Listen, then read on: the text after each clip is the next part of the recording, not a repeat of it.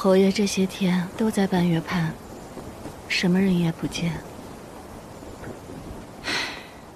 说起来，夫人都已经病了这么久了，侯爷应该早就料到有今日了。终是结发夫妻。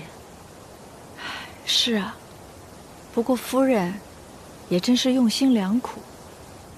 前脚刚走，后脚就把妹妹嫁进来了。这丧期一年一过，侯夫人的位置名正言顺。还是罗家人的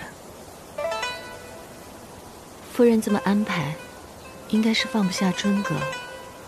侯爷能让十一娘进门，不过就是看在与夫人往日的情分上面。话是这么说，可是未来的新夫人身份终归是一个庶女，不像妹妹你，本应顺理成章的成为继室，只可惜。天不遂人愿呢。只要能常伴侯爷左右，我便心满意足，别无他求。妹妹对侯爷情深意重，令人钦佩。只是一想到在未来的日子里，身份如此高贵的妹妹，要对那个庶女卑躬屈膝、端茶送水的，姐姐就替妹妹不值啊。姐姐如此为我着想。妹妹定会铭记于心，明儿我就写信回家，让老爷对文家的生意多多照拂。哎，妹妹，姐姐没别的意思啊。妹妹，姐姐没别的意思啊。妹妹别生气啊。主母刚刚去世，他们不但没半分悲戚，还过着争风吃醋，这样的后宅有何意义？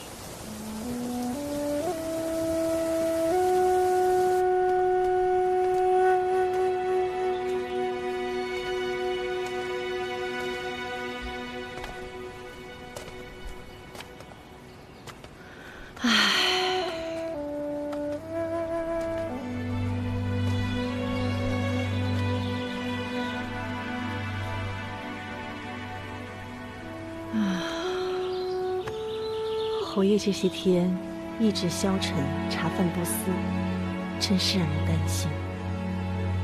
记得元娘刚入门时，侯爷与她也算是相见如宾啊。可是后来发生了太多的事了，这夫妻俩才渐渐疏离。自父亲和二爷去世后，侯爷独立撑起整个徐家。可不管是朝中，还是后宅，似乎都没有让他舒心过。希望这罗十一娘进门后，能有所改变吧。哼，这个罗十一娘，怕也是个不好相与的。之前连房过门的事，恐怕就是她和元娘合谋设计。如此深沉的心思。我怎能放心得下呀？要不是侯爷已经许诺，我是绝对不会答应这门亲事的。母亲，元娘这么做也是情有可原的。她是怕季氏对尊哥不好吧？侯夫人的位置责任重大，难道是仅仅当好一个继母就行的吗？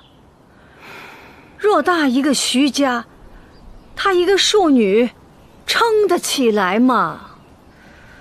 唉，母亲，这不是还有您在吗？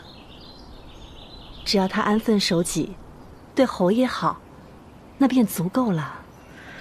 唉。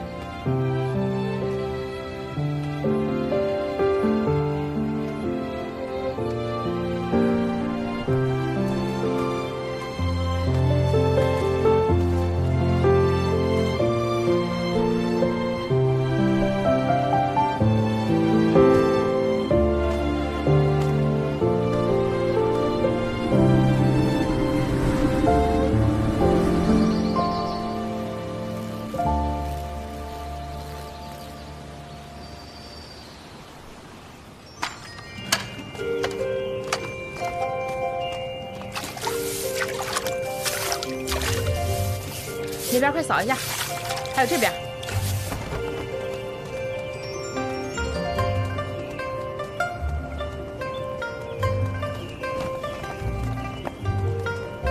再高一点。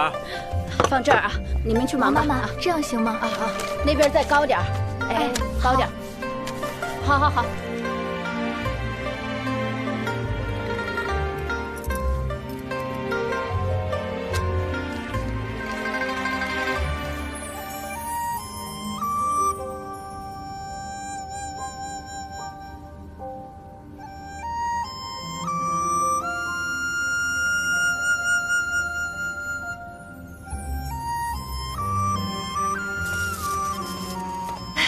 诗音妹妹，吴姐，哎，坐下坐下。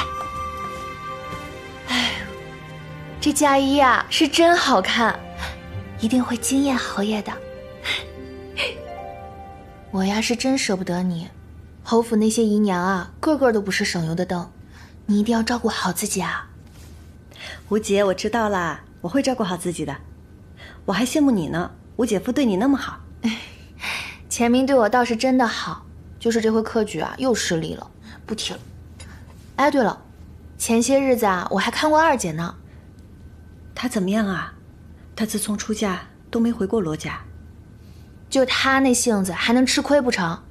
你就放心吧，今儿是你大喜的日子，她一定会来的。那你先准备着，我出去再替你看看。好。琥珀，送一下。是。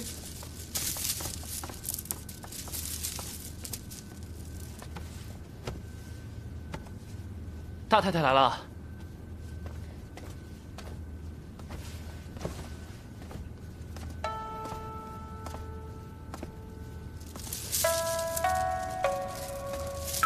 母亲，